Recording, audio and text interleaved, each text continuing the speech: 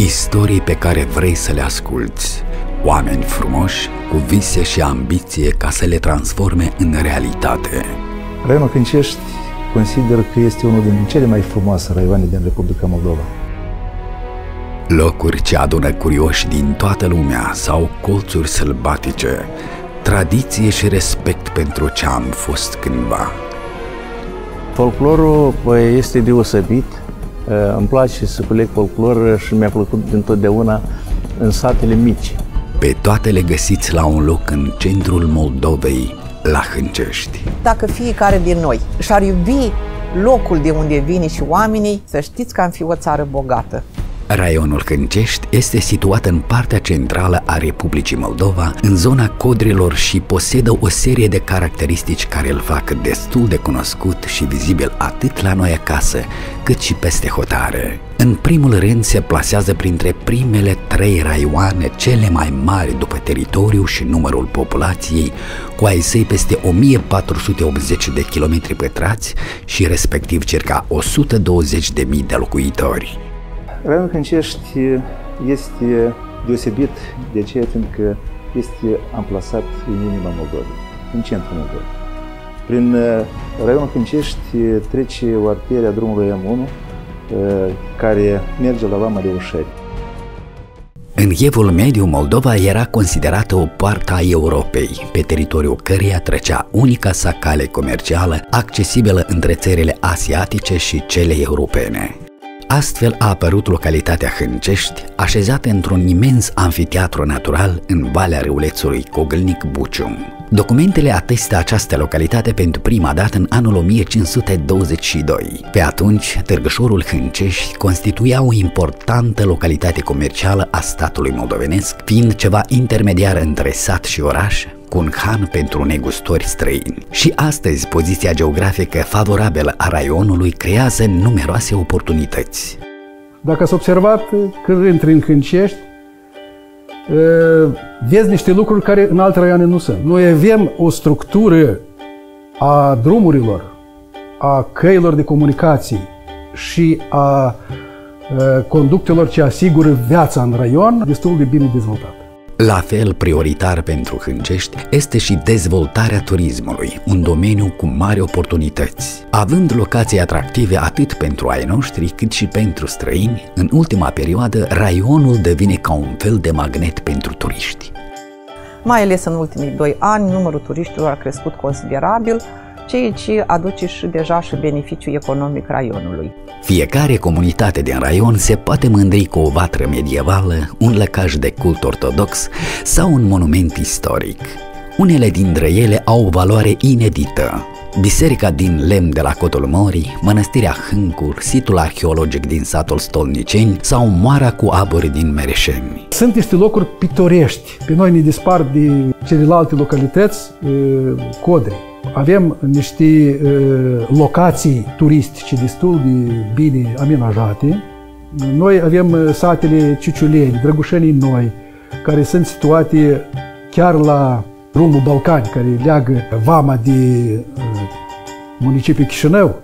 Nu departe este mănăstirea Hâncu și iată aici este o rezervație naturală de unde își începe izvorul râul Cogâlnic. Sunt niște locuri foarte frumoase.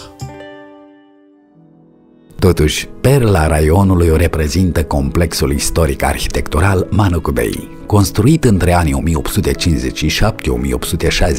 1857-1861, palatul are o istorie zbuciumată. Perioada sovietică, când în acest palat a fost amplasat o școală agricolă, după aceea o tehnică de construcții, după aceea el a fost lăsat izbeliște și a fost distrus. A fost organizat un maraton în care au fost acumulate surse financiare în jur de 800 de mii de lei pentru a efectua proiectul de restaurare a acestui palat. După aceea, această construcție a fost conservată și apoi, printr-un proiect transfrontalier trilateral cu Ucraina, România și raionul Câncești, a fost inițiat restaurarea acestui conac, un proiect care costa 2 milioane și 500 de mii de euro. Noi am muncit foarte mult până am făcut pregătirea pentru ca să obținem finanțare de la comunitatea europeană. Și am obținut această finanțare și astăzi avem acest, această perlă a Hânceștiului. Proiectul a costat în jur de 46 de milioane, dintre care 36 de milioane au fost din partea Uniunii Europene și 10 milioane au fost din partea Consiliului Regional Hâncești. Palatul Manugbei și-a redeschis ușile în 2016. De atunci, peste 200 de turiști îi pășesc pragul zilnic. Acesta găzduiește câteva săli de muzeu, dar și o bibliotecă publică. Din complexul inițial s-au păstrat patru clădiri, Palatul Princiar, Casa Vechilului, Casa Iamandi și Castelul Vânătoresc. Un alt obiectiv turistic valoros pentru Hâncești îl reprezintă ruinile curții domnești din Lăpușna. Anume aici ar fi avut reședința domnitorul Alexandru Lăpușneanu. Din întreaga curte, beciul este singurul păstrat intact. Acum edificiul se află în proces de restaurare.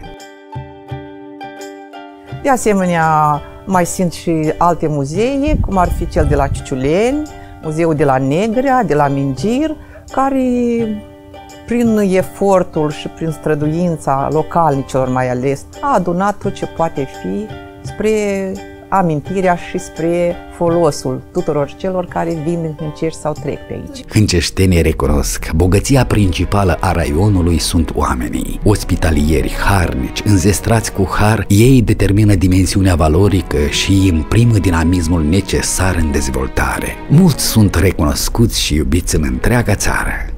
E vorba de un mare savant cărturar, uh, luptător uh, anticomunist, Antonii Plămădeală. Tot din domeniul uh, artilor, un mare meșter de fluiere și naiuri, Solomon de la Strata Galbenă. De asemenea, putem vorbi în domeniul literaturii îl avem pe mm, Constantin Tănase de la Nemțeni, jurnalist. Dacă am vorbit în lumea sportului, Dorin Bucșa, care s-a întors cu titlul de campion european. În arte plastice este Timotei Bătrânu. Satul meu nume de floare, n-am cui spune ce mă doare. Durerea și dorul sfânt, satule azi ți le cânt, mă. Tot din raionul Hâncești a pornit în lumea mare și îndrăgitul interpret de muzică populară, artist al poporului Mihai Ciobanu, prima persoană care s-a bucurat de titlul cetățean de onoare al raionului Hâncești. Nu știu cum mă, mă trage cu mult drag și cu așa cu consums mai deosebit să cânt oamenii satului meu, oamenii raionului Hâncești, în ultimii ani, în creația mea, în foarte multe și folosesc uh, numele Hânceștiului. Uh, cânt Hâncești, cânt satele noastre,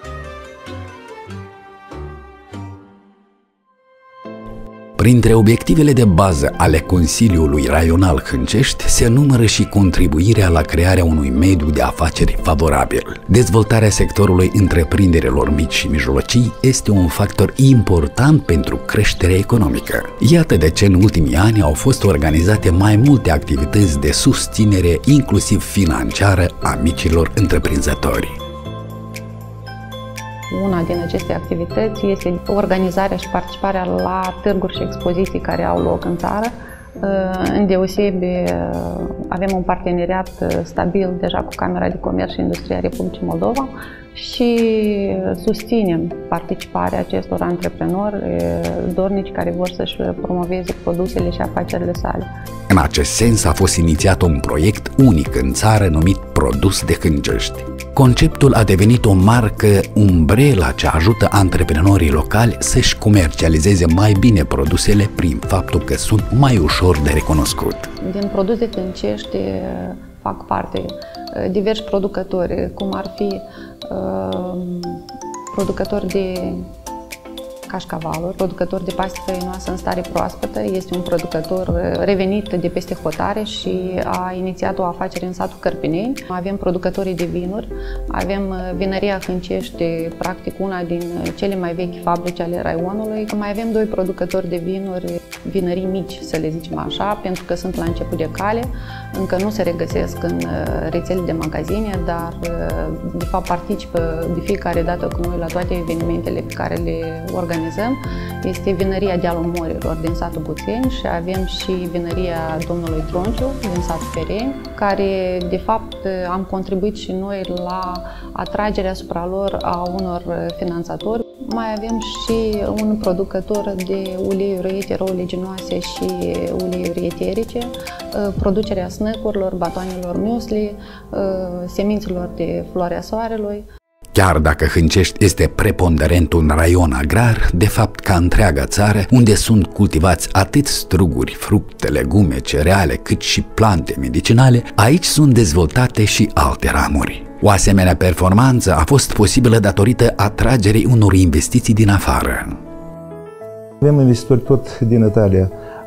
Avem uh, în uh, Cărpineni, o fabrică de tricotaj, avem uh, în Hâncești o fabrică și din călțăminte și o fabrică unde scoas geamantane, un investitor din Germania. În satul Mingir avem o fabrică de, pentru 60 de locuri o fabrică de tricotaje. Suntem uh, la șasea medalie de aur din cadrul Galei Businessului uh, moldovenesc, uh, pe care Consiliul Raional o câștigă an de an. La nivel de republică sunt puține raioane care participă și susțin antreprenorii de a participa la asemenea evenimente care se organizează în țară. În raionul Hâncești au fost inițiate și câteva proiecte ce au drept scop modernizarea și reabilitarea infrastructurii. Unul dintre ele ține de aprovizionarea cu apă potabilă a 10 localități din lunga Prutului. Lucrările au demarat încă în 2014, dar din lipsă de fonduri au fost stopate. În 2018, acestea sunt reluate, iar în scurt timp se preconizează să fie aduse la bun sfârșit. Astfel, localnicii din zonă vor avea acces la apa potabilă de calitate. Alt proiect ține de repararea și reabilitarea drumurilor. Avem deschis uh, o fabrică de încălțăminte în satul Obeleni, care e preconizată să fie uh, uh, deschidă în jur de 800 de locuri de muncă. La momentul actual, această fabrică deja activează. La ea muncesc în jur de 370 de angajați. Aceste persoane sunt din 17 localități adiacente satului Obeleni, Satul Belin este amplasat în lunga Prutului, la o distanță de în jur de 4 km și 200 de metri de la traseul M1. Creăm locuri noi de muncă și cetățenii noștri nu mai sunt nevoiți ca să plece peste cotare. Au condiții foarte bune de muncă, dar noi, prin intermediul drumurilor bune din Moldova, să construim drumul în asfalt de la M1 până în Obireni. Hângeștenii știu să muncească, dar și să sărbătorească. Evenimentele organizate în diferite localități ale raionului sunt o ocazie în plus de a se revedea, de a depăna amintiri sau a pune la cale alte planuri de dezvoltare. E vorba de anumite festivaluri, cum zice, să zicem este uh, festivalul Miorița, care se organizează la Leușeni cu ocazia sărbătorilor începutul anului pastoral, Uh, festivalul Angela Păduraru, dedicat uh, solistii de muzică populară. Avem de asemenea Festivalul Vinului, care se face odată cu toamna în legătură cu terminarea lucrărilor agricole. De asemenea, putem vorbi despre evenimente legate de anumite date, cum ar fi Ziua Independenții sau uh, Ziua Internațională a Copilului sau zilii profesionale. Eh, sunt mândru pentru raionul meu, raionul Hâncești, pentru că am descoperit eh, în ultimii ani un progres mare în ceea ce privește cultura satelor noastre. Eh, sunt foarte multe ansambluri folclorice și mă mândresc cu asta. La Pașcani, ansamblu de la Pașcani, ansamblu de la Leușeni, ansamblu folcloric ansamblul de la Salata Galbenă, ansamblul de aici din Hâncești, care este deosebit. Și multe, multe, aproape toate satele noastre au un colectiv în școlile și bibliotecile din raion, elevii curioși își găsesc o mulțime de activități. Unii fac sport și devin campioni europeni, alții programează roboți sau învață poezii ca să devină campioni naționali. Aici copiii sunt atrași în diferite programe educaționale, evenimente culturale, concursuri menite să le distragă atenția de la monitoarele gadgeturilor și să-i apropie de carte. Anual se organizează concursul celui mai bun declamator, în care concurenții își aleg operele pe care preferă să le prezinte. De asemenea, putem vorbi despre concursul la izvoarele înțelepciunii, care este organizat la nivel național și ultimii 10 ani, cu siguranță, în fiecare an suntem printre raionul care avem numai decât premianți la acest concurs. Cu grijă față de oameni, în cadrul raionului Hâncești sunt dezvoltate și servicii sociale pentru diferite categorii de persoane aflate în dificultate, precum case de copii de tip familial și asistența parentală profesionistă.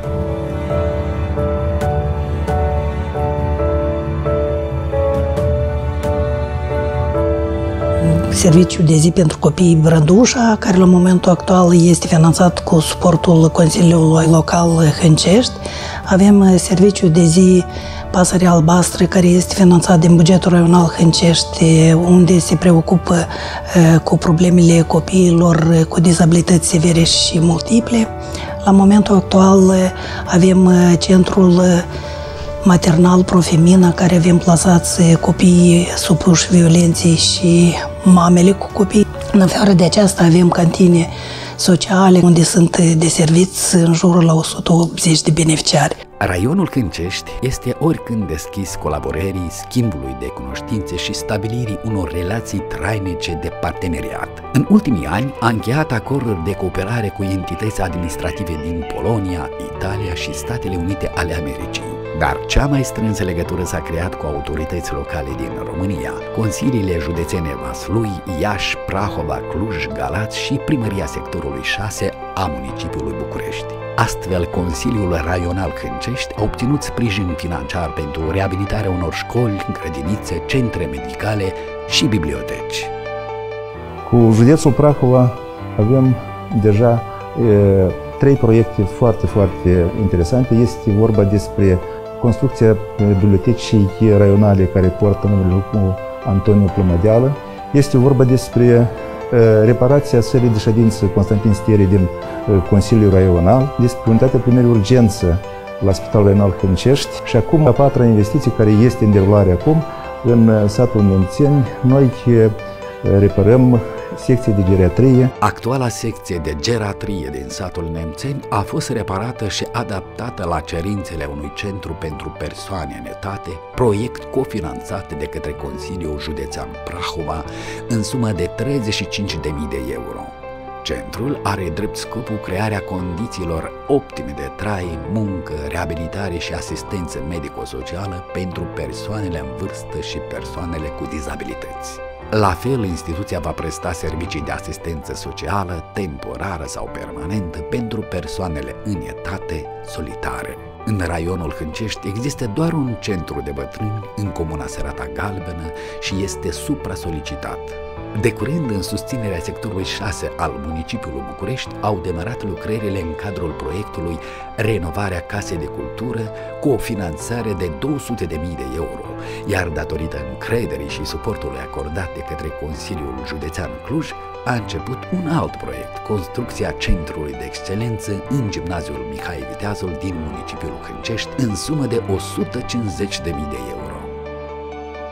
Acest centru de excelență îl vedem destinat copiilor arți de performanță, în primul rând, destinat copiilor din municipiu și nu numai, dar și din localitățile raionului. Totodată nu toate instituțiile educaționale din raion dispun de dotări suficiente a laboratoarelor de chimie și fizică.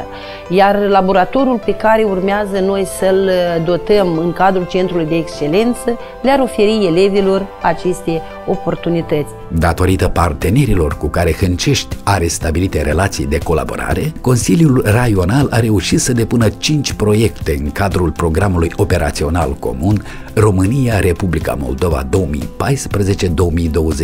care vizează domeniul turism și cel din sănătate. Deși recunosc că investițiile în acest domeniu vin foarte greu din cauza concurenței mari, așteaptă încrezător rezultatele evaluării. Am depus două mari proiecte, unul din ele fiind reabilitarea blocului terapeutic din cadrul Spitalului Raional Hâncești. A fost depus în parteneriat cu Consiliul Județean Vaslui. Un alt proiect care l-am depus a fost reabilitarea Centrului Mecilor de Familie Hâncești. Acest proiect, de fapt, a fost depus cu Consiliul Județean Galați. La etapa actuală, Spitalul Raional Hâncești reprezintă cea mai complexă unitate sanitară din raion, asigurând asistență medicală de specialitate la peste 119.700 de locuitori, capacitatea fiind de 320 de paturi. De câțiva ani buni, instituția medicală preia cazuri de urgență de complexitate intensă și din raioanele vecine, asigurând servicii medicale de calitate pacienților.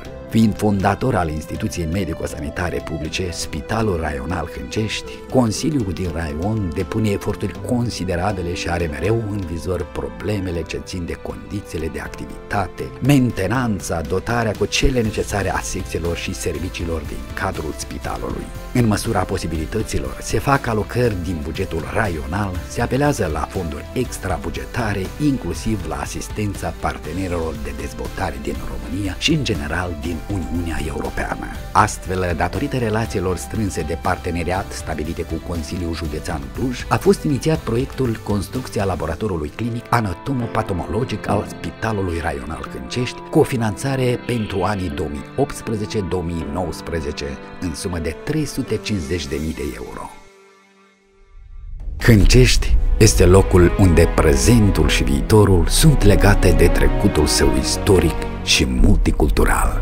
Vă invităm să vizitați raionul Hângești, partea de vest a Republicii Moldova.